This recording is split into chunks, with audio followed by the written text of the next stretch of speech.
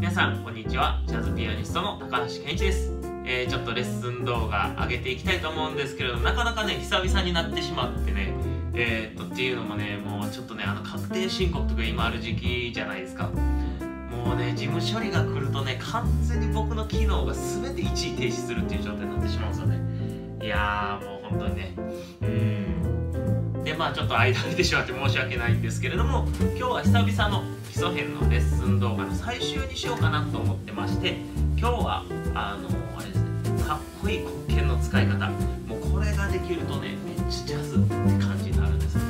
もうかなり必見の。うん。まあそういう黒鍵の使い方の導入編っていう形で今日はやっていきたいと思いますので、えーお楽しみいただければと思います。まあちなみに確定申告はまだ終わってないです。まあぼちぼち頑張っていきたいと思います。今日はちょっと、えーレッスン動画楽しんでいただければ、えー嬉しいです。ではお付き合いください。ということでクロマチックアプローチやっていこうかなと思います。でまああのどうしようかな。曲に入る前にですねまずちょっと基礎的な、うん、動きっていうものをこうやっていこうかな説明していこうかなと思います。で、えー一つは3和音に対してクロマチックをしていくとすごくうまくいきやすいっていうこう基礎の形があります。で3和音の特によく使うのってこうドミソの和音。これ C, C です。よね C でまあ c マイナーとかこの3和音とか。であとはねあのディミニッシュとか C のハーフディミニッシュあのマイナー7フラット5ですね。とかの時に使うこれと。っていうまあこの3種類ぐらいよく使うと思うんですよね。でこれに伴う、えー、とクロマチックの使い方っていうのをやっていきたいと思います。この3和音に対してのクロマチックっていうのはまず一番基礎の形っていうのはあの半音下から弾いていく感じですね。その時に練習する時に注意してほしいのが、えー、と裏に、えー、とクロマチックというかあの半音のアプローチを入れていくっていうことをやってほしいですよ。 One, two, three, four。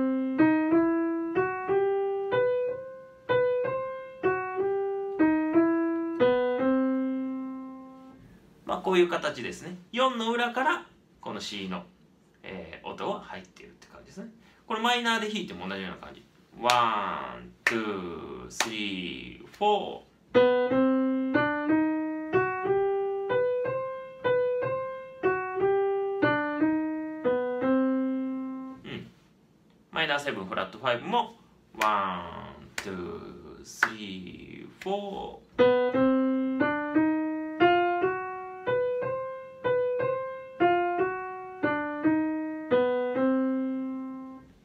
形になりますね。えっ、とパターン1が今の半音下からのやつなんですよね。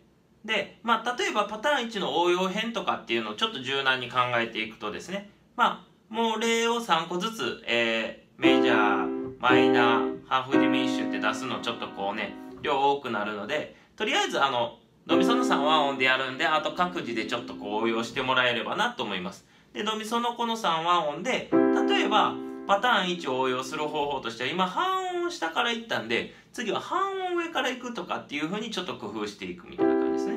ちょっとやってみますね。 One, two, three, four。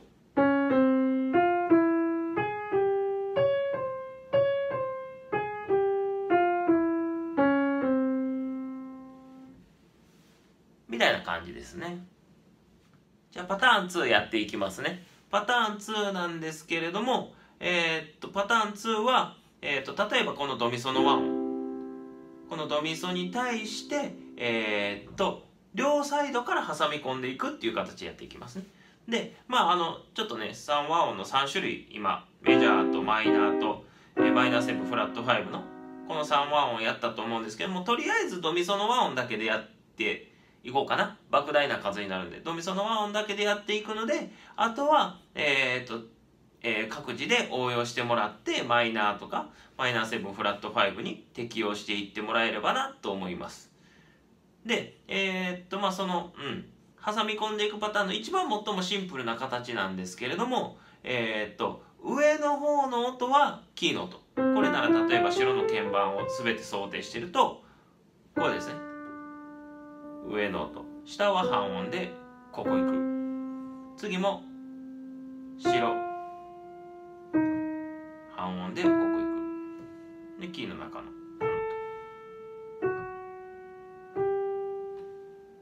キーの中のこの音。こういう感じで進んでいきますね。でまああの、今の場合はそうですね初めの例の音を1拍目に僕は弾いていく感じでやってますねちょっと流れでやってみますね one, two, three, four。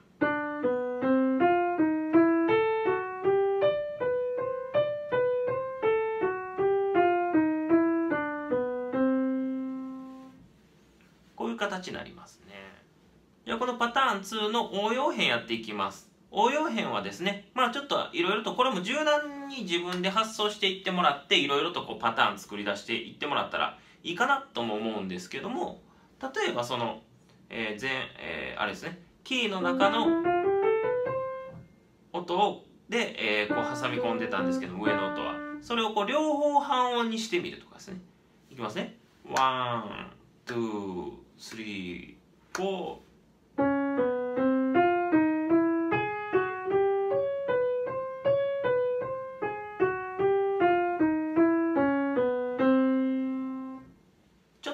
なんていうかこううん。よりこう複雑な感じの音に聞こえますね。自然な流れっていうよりも。とかあとはまあこうリズミリズム的なアイデアでいくと例えばその何ですかね。このドとミーとソのところを1拍目に持ってくるようにアプローチしてみるとかって感じですね。だから4拍目裏から3連で入れる。こんな感じかな。ちょっとやってみますね。 One, two, three, four。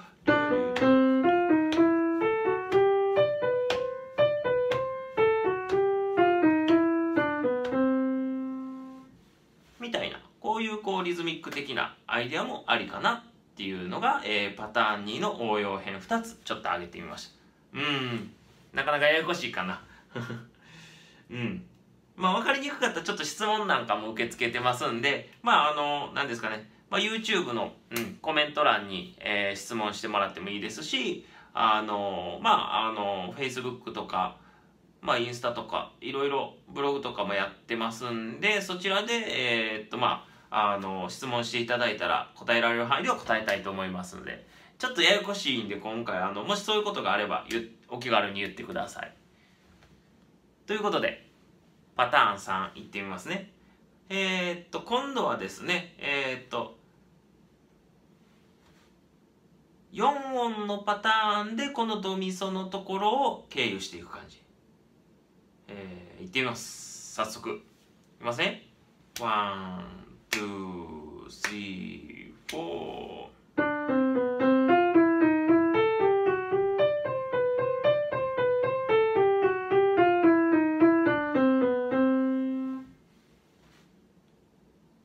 パターン3になりますね。でパターン3のちょっと応用編やってみましょうか。で、同じように発想してみたらよくて、これも。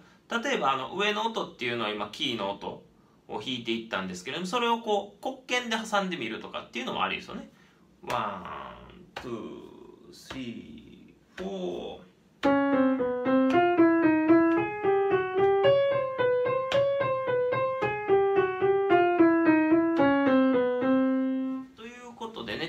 ねちょっと駆けてやってきたんですけれどもどんどんどんどんこう自分でこうアイデアを出してってやってもらえるような内容なんですよね。だからまあ厳密にルールっていうのはこうドミソのところに解決するっていうことなんですよ。だからまあもうちょっとアイデア出してみると例えばえっ、とそうですねえー、と挟んでたものを下からこう上げてくるとか上から下げてくるっていうのもありなんですよね。例えばこんな形上からちょっとこう2音で降りてくるパターンでやってみますね。 One, two, three, four。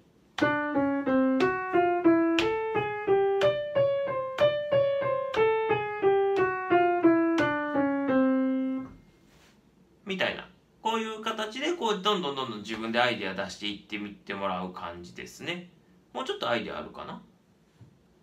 うんパターン3のそうですね、えーアイデアとしてリズミック的なアイデアでいくとしたら例えばそうですね。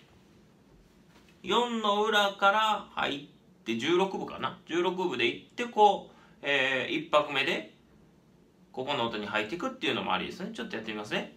One, two, three、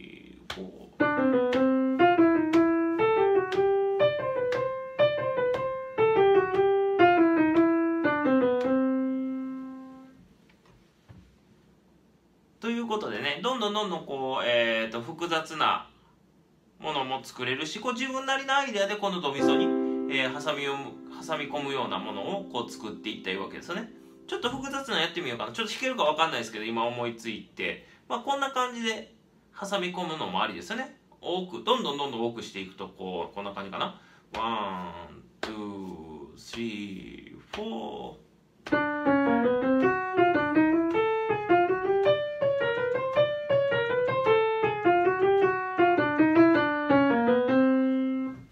形ですごくこう増やして今やったらこれとこれと進んでいったわけですね。こういう形で今やったら4音をこう周りに進ましなあの周り4音を使いながら複雑にこう自分でアイデア出してやってみたっていう感じですね。なのでどんどんどんどん各自でこうアイデアを出しながらこの基本の3和音っていうものに向かっていくアプローチっていうものをこう作ってってもらうっていうの形になり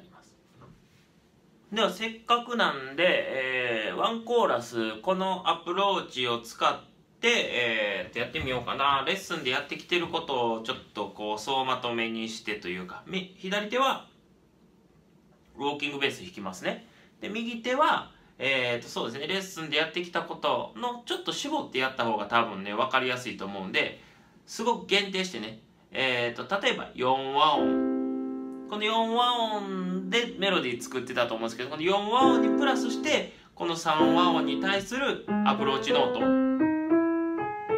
アプローチしていくことを、えー、と足してみるっていう感じで、いろんなバリエーションでできるんで。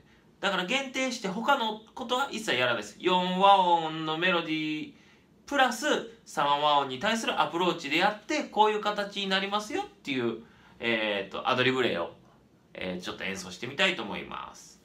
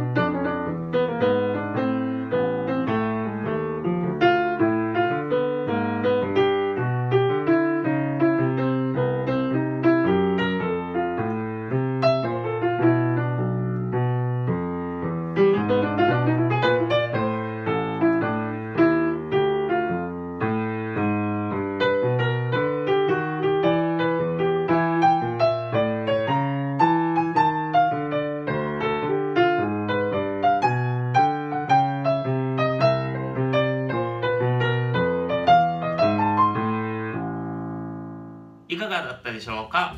ということでね、えー、今日で基礎編最後にしてしまおうかなと思ってましてっていうのもまあなんかちょっとね、えーと、応用編というよりも僕が普段考えてるこう何て言うんですかね、えー、こととかまあそのなんか方法とかね演奏の、えー、そういうことの方が結構こう教則本とか載ってない観点で結構考えてることっていうのはたくさんありましてまあそっち喋ってった方が面白いかなっていうのもなんかあって僕自身も。